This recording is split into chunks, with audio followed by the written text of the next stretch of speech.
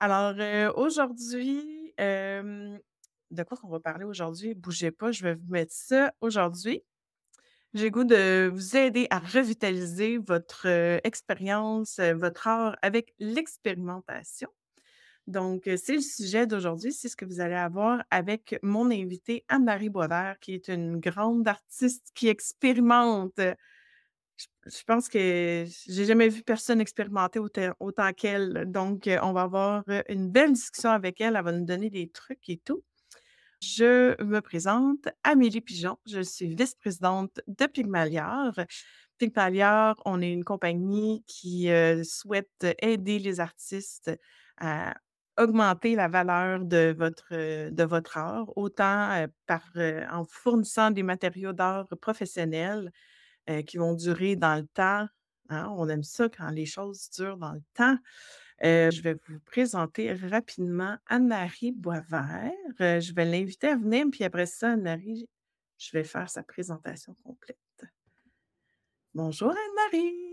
Bonjour tout le monde! Comment vas-tu? Ça va bien. Ouais. qu'aujourd'hui, on va parler de l'importance de l'expérimentation en art. Exactement. Mais avant de commencer, je voudrais juste prendre le temps là, pour, heu, les gens à la maison qui sont avec nous, qui te connaissent pas. Heu, mais il y en a sûrement qui te connaissent là, mais pour ceux qui te connaisseraient pas connaîtraient pas, excusez, j'ai oublié de fermer mes, mes courriels qui rentrent en même temps. Donc Anne-Marie, tu fais de l'huile, de l'acrylique, de la peinture, de l'estampe, des Mmh mh. médiums mixtes, du pastel sec, du pastel gras, de l'aquarelle. Heu, qu'est-ce que tu fais d'autre? Heu, j'ai fait de l'encaustique à une époque. OK. Heu, qu'est-ce que tu aurais pas nommé? Écoute, en fait, je suis curieuse de nature, hein, puis, comme j'ai enseigné beaucoup l'art, c'est sûr que ça m'oblige à me renouveler aussi, heu, ça, c'est un autre aspect de mon mon mon travail d'artiste. Et puis, tu donnes, heu, des cours privés, des cours semi-privés, des cours en groupe, des séminaires, des consultations, tu fais de la publication didactique, heu, sur les arts visuels. Je veux dire, c'est assez complet, là. Ah oui, je fais le tour, je fais le tour. Tu fais le tour, hein? Sur mon blog, là, sur mon blog, vous pouvez trouver plein d'informations sur tous les matériaux que tu as nommés tantôt, là. Oui. Aquarelle, la pastel, huile huile soluble à l'eau, ainsi de suite. Alors, heu, ça me plaît beaucoup de vous informer, heu, sur divers, heu, éléments, mes expérimentations aussi, hein, parce que c'est vraiment le but de de de notre conversation aujourd'hui, l'expérimentation Ben oui. et puis j'y crois fermement que ça c'est un aspect qui est vraiment, constructif quand on est artiste. Se mettre des défis puis aller vers d'autres avenues pour, heu, mieux évoluer dans notre art. Heu, donc Anne-Marie, pourquoi c'est si important de faire l'expérimentation selon toi? Alors, principalement parce que ça nous sort de notre, heu, routine. Sais, quand on est confortable dans un dans un médium, dans un sujet, par exemple, heu, il vient un moment où on on fait le tour et puis on va dans la facilité, hein. Puis si on veut vraiment que notre art évolue, moi, je crois fermement qu'il faut se mettre des petits défis. Et puis, heu, les défis, ça peut être simplement changer de médium. Si vous avez l'habitude de travailler à l'huile, ben, dire: «Oh, je vais essayer l'acrylique». Oui, c'est sûr, on crée pas des chefs-d'œuvre à tous les coups. Ça, faut faut se permettre des erreurs. En fait, des erreurs, c'est des apprentissages, heu, je le dis toujours à mes étudiants aussi, là, c'est pas, c'est pas grave. Heu, puis il faut pas être toujours dans la performance aussi lorsqu'on lorsqu'on peint. Ça, ça On me parle beaucoup, heu, ce que tu viens de dire là, de l'espèce de, mmh, volonté de toujours créer une un chef-d'œuvre, puis la la pression que je me mets là, de performance, même si j'ai jamais touché à ce ce médium-là avant parce que changer simplement changer de médium, mais simplement, c'est beaucoup de choses là, de changer un médium d'apprendre à maîtriser puis de de d'adopter un un nouveau médium, je trouve ça particulièrement difficile, moi. Oui, parce qu'on on a quand même une période d'adaptation, hein. Quand on est habitué je prends toujours l'analogie des gens qui sont habitués de travailler à l'huile.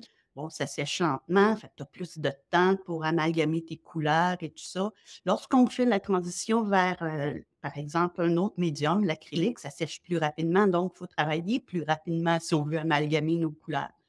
Oui, ça peut être difficile de s'adapter un petit moment, mais ça prend un moment, puis à un moment donné, on prend. Moi, je considère que euh, faire de l'art, c'est comme faire euh, de l'exercice physique. Ce qui veut dire que euh, quand on commence, quand on débute dans un médium X, on est moins en forme.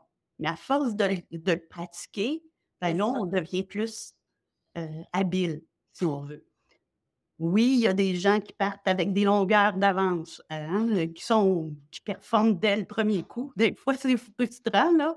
Ben oui. Je prends l'exemple de moi, en art numérique, je suis pas bien bonne. Mais par contre, quand c'est le temps de se salir les mains avec du pastel ou de l'acrylique ou de l'huile, ah là, je suis plus à l'aise.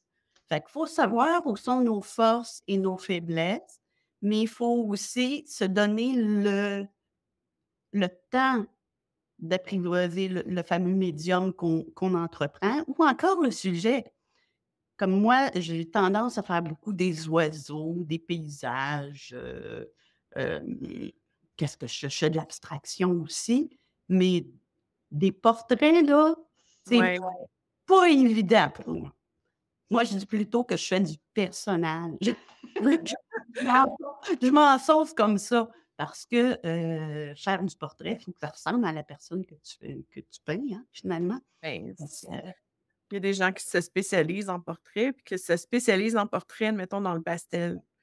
Dans le d'autres spécialisés portrait euh, en peinture à l'huile. Que après ça, c'est de se spécialiser, mais toi, ce que j'ai l'impression, en fait, c'est que tu te spécialises pas nécessairement. J'ai l'impression que tu, touches à tout. J'ai l'impression que ta façon de vivre ton art, c'est vraiment par l'expérimentation, beaucoup moins que par une spécialisation. Exactement. Moi, je savoure le moment présent. Hein, avec petit peu la philosophie qui gagne euh, euh, japonaise, je veux dire, tu vis le moment présent. ce qui fait que, puis je ne veux pas m'ennuyer. Alors, si je fais toujours la même recette, toujours les mêmes choses, je m'ennuie. Alors, ce qui fait que euh, un matin, je rentre dans le studio puis je dis Ah, aujourd'hui, j'ai le goût de faire du pastel. Good, j'y vais. Une autre journée, euh, je veux faire du, de l'aquarelle ou de l'estampe. Mais le fait de changer, quand je reviens à mon médium principal, euh, ben, on peut dire que j'ai deux médiums principal présentement. Souvent, c'est par phase aussi. Hein. Euh, la clinique a été, euh, pendant une bonne période de ma carrière, euh, le, médium qui m'a le plus, que j'ai le plus pratiqué. Mais le fait d'avoir fait de l'estampe dernièrement, ben, lorsque je reviens à mon médium précurseur, me fait voir les choses un petit peu différemment. Parce que j'ai appris des choses. J'ai été confrontée à des, à des, à des, euh, à des, des choses que je n'aurais pas été confrontée euh, en difficulté ou comme révélation aussi. Des fois, il y a des belles surprises lorsqu'on on change de médium. Ben, lorsque je reviens à mon médium principal, euh, ben, ça me donne d'autres idées aussi. Fait que, est-ce que tu serais d'avis de dire qu'en expérimentant, quand tu reviens aussi dans ton médium principal, tu deviens meilleur à la limite? Moi, je pense que oui. On ne peut que s'améliorer, hein, parce qu'on a moi, j'ai jamais fini d'apprendre. Alors, c'est ma mission d'abord, apprendre et partager. les gens qui me suivent depuis un petit moment, savent, je le répète souvent. Et puis, non, effectivement, c'est important pour moi d'expérimenter. OK. Puis comment tu te prends? Maintenant, parce que moi, quand je fais, euh, quand je me mets à, faire de l'expérimentation, surtout quand du mix média, par exemple. Oui, ouais. excuse-moi. Dans le mix média, c'est important de, travailler gras sur maigre. Hein. Quand on, s'en va de, de, de, médium à l'eau vers médium sec, médium à l'huile, il faut savoir les utiliser euh, dans le bon ordre euh, pour pas que ce soit concluant. Euh, l'autre chose aussi, lorsque j'expérimente, je fais des tests, puis je vous montre un exemple. On aime ça. il n'y a pas, il y a pas 26 000 façons de, de, de comprendre puis de dire, ben, ça va-tu marcher? Alors, Ouais. souvent, là, j'ai des vieux livres que je, que je, je, je récupère. Celui-là, je pense, c'est Anne of Green Gable. Et puis, euh, bon, première des choses, je fais beaucoup de collage dans mes mix médias. Fait que quand j'ai des restants de palettes, euh, je les mets, je viens, il n'y a pas de gaspille dans mon atelier. hein, je les mets dans mon euh, petit cahier. euh, ça, je- ces pages-là, je peux les prendre puis venir les déchirer puis les insérer dans mes techniques mix. OK. A aussi plein. C'est quand je vous disais que je ne suis pas très portraitiste. J'aime bien expérimenter toutes sortes de choses. Fait que dans ce cahier-là, j'ai pas peur de me tromper. Parce que c'est un, un cahier d'artiste. C'est un cahier hop là, qui me permet de venir tester mes médiums. Oups, Puis, pas dans euh, la caméra. Donc, tout c'est de l'encre à- à- acrylique. Fait que je cherche mes médiums et je viens faire toutes sortes de, de tests de couleurs aussi. euh, puis des, des médiums aussi euh, pour, mettons que je veux euh, essayer un nouveau médium, ben, je, vais, je vais le tester là-dessus. Puis c'est concluant, ben là, je vais aller peut-être sur une toile et refaire euh, l'ouvrage de façon plus sérieuse, finalement. Vous voyez, je jette mon dévolu, puis j'ai pas peur de me tromper. OK? C'est OK. des- c'est vraiment un, un bouquin qui est là à côté. Puis d'un fois, il y a des matins aussi. Dites-vous qu'il y a des matins que tu. Oh, je ne l'ai pas. Ben ça, c'est comme, un, c'est comme un petit bouquin qui vous permet de vous réchauffer, mettre des couleurs. Des fois, les- il y a des journées que je rentre dans l'atelier, puis je n'ai pas de sujet ou j'ai pas d'idée. Tout ce que je fais à ce moment-là, c'est que je me fais des petites taches de couleurs. Je dis, ah, tiens, aujourd'hui, je vais travailler. Oh, je vais tra- voilà, c'est bizarre. On On va y arriver. On va y arriver. Ouais, de couleurs. Ben, je prends, je dis, OK, aujourd'hui, je vais travailler avec ces couleurs-là. Puis là, je me fais un petit, un petit, un petit, euh, un petit exercice avec ça. Là, je dis, ah non, un matin, je vais travailler juste avec ces couleurs-là. Puis finalement, je me, je me fais de- un petit livre de référence, OK, qui est rempli de toutes sortes de petites euh, nuances et d'essais de couleurs, et ainsi de suite. Ça, c'est vraiment un cahier d'expérimentation. d'expérimentation de couleurs. Oui. Fait que là, tu as un cahier d'expérimentation mix média, tu as un cahier d'expérimentation couleurs. Ouais. Fait que tu te tu tu tu tu mets ça dans des cases un peu là pour dire: «OK, là, j'ai le goût de faire expérimentation couleurs, je m'en vais dans ce ce cahier-là». Des fois, on n'a pas toujours le on pas toujours le le goût de d'entreprendre un un un projet de A à Z. Des fois, on a juste besoin d'un petit réchauffement, puis ces ces bouquins-là, ces petits cahiers-là, j'y réfère. Je dis: «Ah, quelle couleur je pourrais faire de ma composition?» puis là, je regarde: «Ah, ça, c'était une une expérimentation, j'ai trouvé que c'était une belle panoplie de de couleurs». OK. On a une question dans la salle de Anna Mercier qui dit, heu, un bon exemple d'utilisation dans l'ordre des médias. Tantôt, tu disais, hem, gras sur maigre. Fait que Mmh si on faisait un peu l'énumération de de ce qui est gras puis ce qui est maigre, heu, puis, je sais aussi qu'il y a certains maigres qu'il faut mettre un fixatif avant d'aller Mmh. mettre le gras. Fait que si tu peux nous en parler un petit peu plus pour Anna, ça serait gentil. OK. Par exemple, le pastel sec, heu, c'est un une craie qui est à base, de kaolin, de terre, heu, de terre de porcelaine qui et c'est très, très, très, poudreux. Donc, ça, on peut dire que c'est un médium qui est qui est sec et maigre. Le l'aquarelle est maigre aussi. Dès qu'on commence donc c'est des 2 médiums qu'on doit, lors on peut l'utiliser avant, pendant et après dans l'élaboration, mais il faut savoir que si on met un médium, qui est humide, mettons de l'acrylique par-dessus du pastel sec, ben, c'est sûr que ton pastel sec va se délayer, va s'effriter.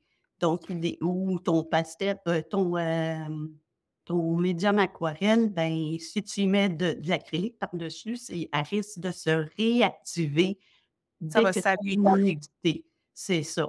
Fait que dans ce temps-là, lorsque tu veux superposer, si le, le- ton but, c'est de justement que ça s'in- s'intercale, que ça se mélange ensemble, good, tu fais rien. Mais si jamais je voulais mettre de l'aquarelle et je veux appliquer du de, de la peinture acrylique par-dessus, mais je veux pas que mon, mon aquarelle se réactive, ben là, il faudrait mettre à ce moment-là un médium. Euh, habituellement, on va utiliser, préconiser un médium fixatif en, aérosol parce qu'évidemment, si on met un, un quelque chose à- au pinceau, ça va tout étendre notre Puis quand on parle de médium gras, ben là, on tombe beaucoup dans tout ce qui est euh, pastel à l'huile, euh, médium, euh, à- peinture à l'huile, etc. OK. Donc, on dit tout le temps gras sur maigre. Ça- j'espère que ça répond à ta question, Anna? Je sais que là, on parlait de- des petits cahiers d'expérimentation. Je trouve Mhm. que c'est intéressant que tu, tu avec ces, ces petits cahiers d'expérimentation-là, ce que je trouve intéressant, c'est qu'au lieu de dire OK, tout est, est disponible, parce que moi, à un moment donné, je suis comme Ouais, mais trop, c'est comme pas assez. Trop de choix, c'est comme pas assez de choix. Fait que là, je me perdrais. Fait que de, de- d'y aller plus euh, vraiment par euh, j'expérimente sur une chose, j'expérimente pas sur plein de choses en même temps. Je sais pas Ouais. si- Est-ce que je suis claire? Je dirais que, que, que, que, pour faire du de la technique mixte, il faut avoir un, un- faut connaître euh, comment, inter- comment interagit chaque médium avec le- un autre. OK? Puis ça, ça demande justement de les expérimenter indépendamment avant de les mixer ensemble. Moi, pour moi, en tout cas, c'est ce qui m'a servi le plus. J'ai Ouais. fait pendant plusieurs années la peinture à l'huile, parce qu'à l'époque, à l'âge que j'ai, c'était ça qui était le plus à la mode, si on veut. Ensuite, j'ai bifurqué vers le pastel sec. Puis aujourd'hui, ben, c'est la peinture acrylique et l'estampe euh, que- qui me, qui me qui occupe le plus gros de mon temps. Mais euh, ça ne m'empêche pas de revenir à, à mes premiers amours aussi, puis de les mixer ensemble. Mm. Puis pour pouvoir les mixer ensemble, il a fallu que je fasse des essais et des erreurs.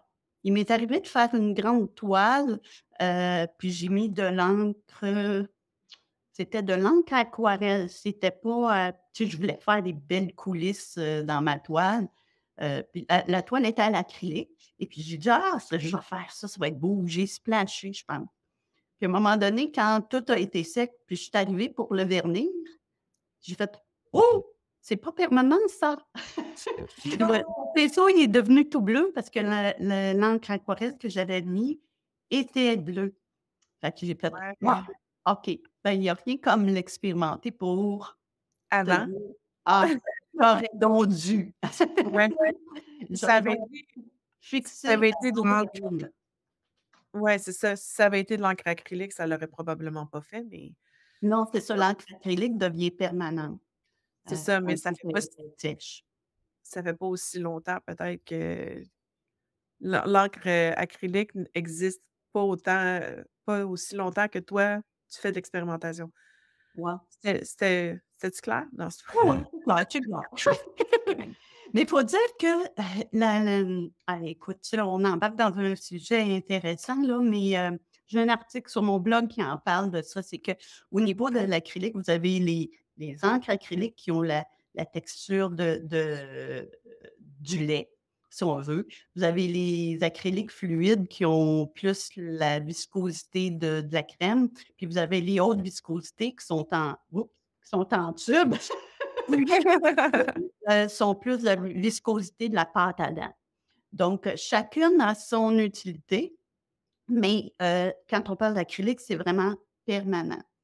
Euh, dans ces, dans ces choses-là, on a des couleurs qui sont transparentes, il y en a qui sont semi-opaques, il y en a qui sont opaques. euh, tandis que les, les euh, encres aquarelles, habituellement, sont généralement euh, très euh, transparentes ou translucides. Ouais.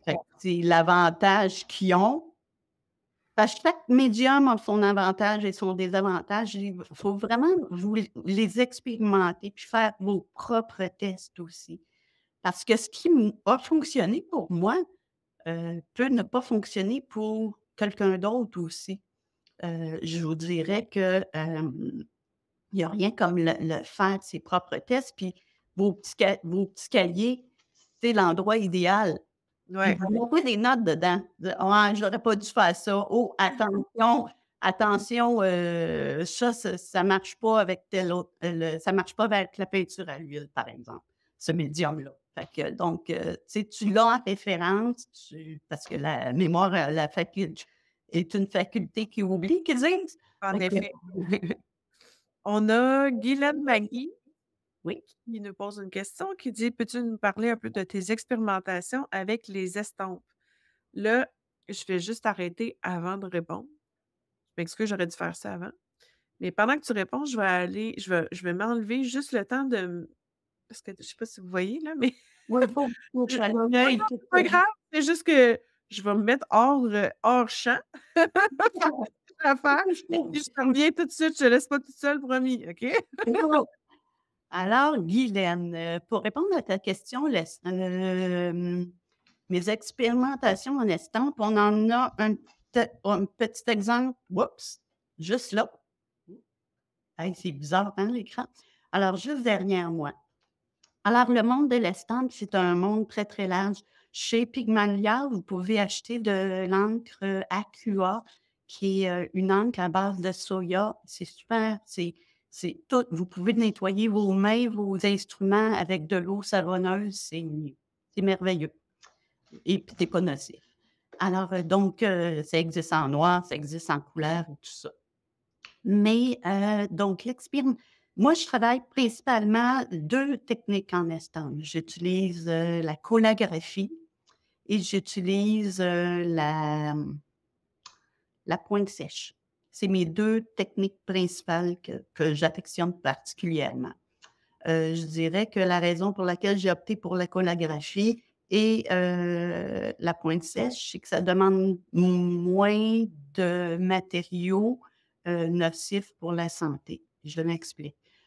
tout ce qui est aquatinte et les gravures indirectes, si on veut, qui demandent, mettons, de, mettons de, travailler sur cuivre ou sur zinc, puis qu'on doit immerger dans des euh, solutions, euh, je dis acides, là, mais peut-être je travaille, euh, je parle à travers mon chapeau. ça demande un petit peu plus d'équipement, puis évidemment, un petit, le petit côté nocif, toxique de ces produits-là m'encourage pas nécessairement à aller vers cette avenue-là. Euh, si je vous dis, alors, donc, la collabographie, je vais vous en montrer un exemple qui est en cheminement. Ça, ça entre un petit peu dans notre, dans notre petit sujet d'aujourd'hui. Mais ben oui, pas de problème. Pendant ce temps-là, je veux juste vous dire que je vous ai mis le lien pour les encres aquarelles que Anne-Marie est en train de discuter dans, le, dans les commentaires. Alors, Ici, ça, c'est une, euh, une collagraphie, donc, qui a été imprimée avec une machine, vous savez, avec les grandes roues, là. oui, oui. Alors, je vous montre un autre exemple que j'ai commencé. C'est tout des collages, OK? Et je travaille aussi avec des médiums à peindre pour varier la porosité et la, et la texture aussi. Alors, ceci, c'est mon, mon sujet, c'est Ikigai. Alors, je ne sais pas si tu as la fameuse image de l'ikigai. Oui, Alors, l'ikigai, c'est vraiment une, philosophie japonaise qui, euh, qui, qui, me touche particulièrement dans mon, ma démarche artistique. Et puis, euh, donc, je suis en train de travailler cette chorégraphie-là en me basant, en m'inspirant euh, du petit diagramme que, que, que Amélie nous montre là. Alors, on travaille à partir de plaques euh, qu'on appelle des matrices. Donc, cette matrice-là, OK, que j'ai tout travaillé, il me reste un petit peu de travail à faire. Je vais tout l'enduire d'encre aqua. OK? Je vais essuyer l'excédent avec parcimonie. Donc, les angles vont s'insérer dans certaines fissures que j'ai créées et textures. Et puis ça va être imprimé, va être passé sous presse, qui va me révéler un une impression euh, de ce type-là ou semblable, si on veut. OK. les matrices, on les travaille sur. Moi, je les travaille sur bois, sur carton, sur plexiglas. Euh, il y a d'autres artistes qui vont prendre d'autres types de surfaces, là. Mais euh, l'estampe, là, c'est un monde, euh, justement, qui va me permettre, dans ma démarche, d'explorer énormément dans les prochaines années, là. Ben oui. Puis ça d'autres avenues pour les toiles que je fais dans d'autres médiums aussi. Alors, la pointe sèche, je, je, vais essayer de l'approche encore un peu, encore, encore, encore. Euh, ça a l'air tout délicat, hein? Oui, alors, c'est des petites, une petite gravure euh, qu'on imprime. Euh, j'ai pas la matrice là avec moi, mais donc on peut faire des réalisations abstraites, comme on peut faire des choses très, très figuratives en estampe aussi. Est-ce que j'aimerais ça qu'on bifurque parce que je vois le temps qui passe là, vers, vers la pensée qui gagne, parce que quand je t'ai parlé de, de faire un live avec moi par rapport à l'importance de l'expérimentation, je trouvais que ce, côté-là était très, très intéressant parce que c'est clair que ça va avec une philosophie. moi, je suis un peu une control freak. Fait que quand je m'en vais vers des choses qui sont peu communes et connues de ma part, que je ne maîtrise pas, euh, je m'en vais rapidement dans des, euh, dans des sphères moins fun. Je suis pas dans ma zone de confort, là, je me trouve pas bonne, puis ci, puis ça. Mais tu me parlais de toute cette philosophie-là que toi, tu as. C'est vraiment, c'est vraiment de vivre le moment présent. Ce qui fait que euh, moi, quand je peins, c'est plus important le processus quand je suis en train de peindre que le résultat. Si le résultat il est cool, ah, là, je suis aux anges, c'est sûr. Mais ça m'arrive que des fois, c'est pas un chef-d'œuvre. On le met de côté, puis on a appris avec cela. Le prochain va être mieux. oui, parce que. Elle nous recentre davantage. Puis souvent, on, moi, je, me dis que je paye d'abord pour moi, puis le regard extérieur, si les gens aiment ce que je fais, c'est nourrissant, oui, mais il faut vraiment penser à se nourrir nous-mêmes en premier lieu. Oui. Fait que quand tu abordes une nouvelle expérimentation, toi, c'est parce que tu as l'expérience de l'expérimentation. Tu l'as pratiqué, cette espèce de muscle-là. Mais est-ce que si tu te remets en arrière, là, dans, les moments où, tu commençais à expérimenter, comment tu as passé de ce, le fait, comment tu as fait pour ce switch-là? Les premières toiles qu'on fait, on est fiers, on y est attaché. On dirait qu'on ne veut pas les vendre, on ne veut pas les donner, on, est trop attaché encore à, à ce qu'on vient de réaliser. Mais au fur et à mesure, encore l'exercice physique, plus tu en fais, plus tu réalises que tu deviens en forme. Puis à partir du moment où tu réalises que, ah, je serais capable, cette œuvre-là, là, j'ai bien réussi cette fois-ci, je vais être capable d'en faire une autre. Tu n'achètes pas nécessairement, là. Mais à partir du moment où tu te sens confortable dans, dans ton expérimentation, moi, je me rends compte que c'est, c'est ça le déclic.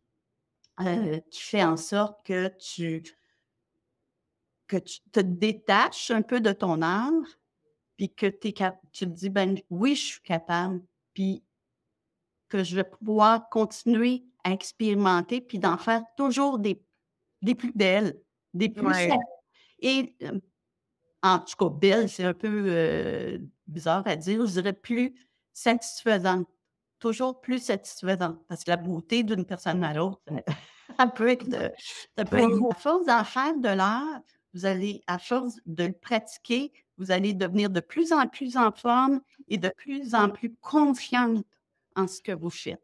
Moi, c'est le même que je l'ai vécu. On ne crée pas toujours des chefs-d'œuvre. Ouais. C'est pas le but. C'est pas le but. Euh, le but, c'est vraiment de t'épanouir puis de de de de cultiver ta passion, puis d'en retirer les bienfaits au moment présent. Fait que si, au bout du compte, ton pastel, heu, moi, j'en ai là dans mon atelier qui traîne ici, là, je vous montrerai pas, là. Je suis bien trop fière pour ça, mais mais fait partie du cheminement. Heu, faut se permettre de de se mettre un petit peu en en danger, puis de de de cultiver, heu, notre, heu, notre curiosité parce que c'est ça qui va faire en sorte qu'on devient une artiste plus selon moi évidemment, une artiste plus complète. Heu, je pourrais me confiner à juste un médium. D'ailleurs, c'est un reproche souvent qu'on me qu'on me fait en tant qu'artiste, heu, professionnelle parce que les gens disent: «Ouais, mais Anaïs, tu tu fais pas juste des oiseaux?» je dis: «Non, je fais pas juste des oiseaux, ça m'ennuierait à mort oiseaux». question, en fait, tu Ouais. sais, justement, tout le côté, le style artistique qui est tellement important au niveau de de de l'industrie, là, tu sais, de des gens pour acheter, heu, le fait d'expérimenter puis que ce soit l'expérimentation, ton art, heu, doit t'apporter justement une certaine difficulté au niveau de la vente ou de la commercialisation de tes œuvres d'art Oui, parce que l'aspect commercial de du marché de l'art nous exige qu'on se confine dans un dans un style et dans un médium particulier. Mais pour moi, heu, oui, c'est le fun d'en vendre un petit peu là, des œuvres une fois de temps en temps, qu'on réinvestit on réinvestit puis on va acheter des beaux matériaux chez Pygmalion.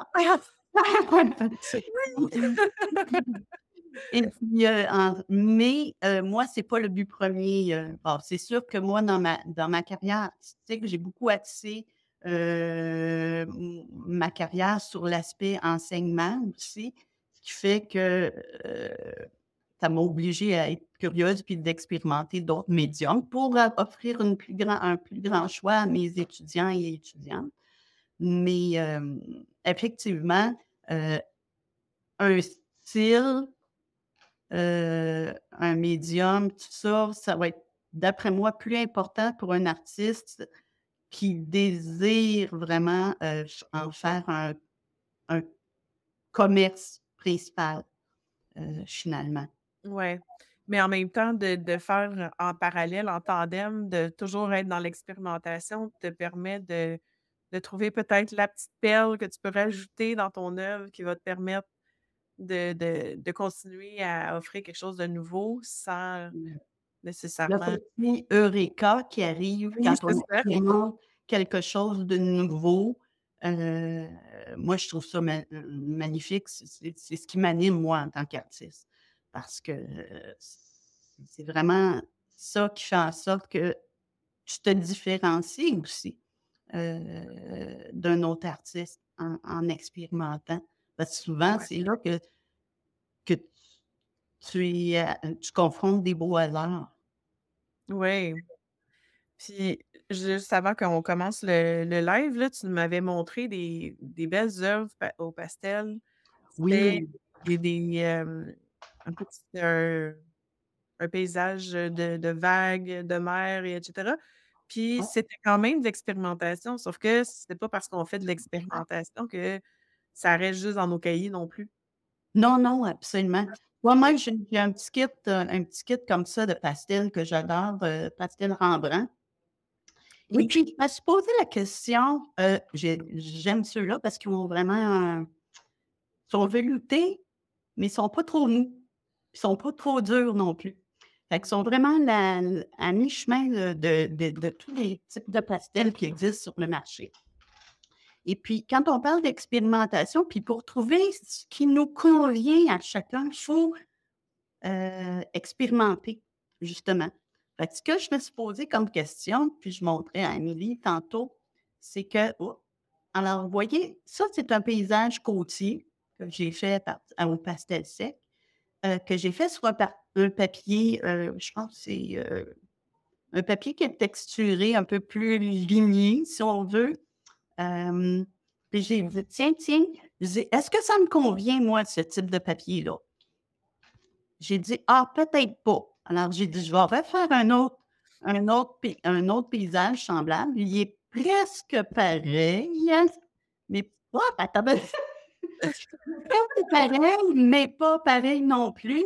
Puis là, cette fois-ci, je l'ai fait sur un papier qui était plus, heu, je pense que c'est du pastel 4, du pastel 4 de Sennelier, qui est un papier un peu plus un peu plus granuleux. Ah, puis là, je fais: «Ah, voilà, je pense que j'ai trouvé le papier qui me convient». Mais là, ce que tu as fait, c'est que tu t'es mis un sujet Ouais. Tu as choisi les couleurs, le même médium, mais tu as expérimenté sur un papier différent pour pouvoir justement qu'il y ait une chose qui change. Exactement. Oui, ça rejoint ce que tu disais. Change un élément, heu, max moi, souvent, je vais je je vais travailler avec la règle de 3 aussi. Heu, pas trop de média tu sais, tantôt, on parlait de média de techniques mixtes. Ben, tu sais, je ne mettrai pas 15 médiums différents dans ma ma même œuvre. Un, de de toute façon, ça devient cacophonique. Puis les inter les les les les les jumelages de médiums, ça devient compliqué quand on a trop. Fait Mmh, que, souvent, je vais aller avec 3 médiums. Je vais dire: «Ben, je vais me sélectionner une palette de couleurs, heu, 3 couleurs principales».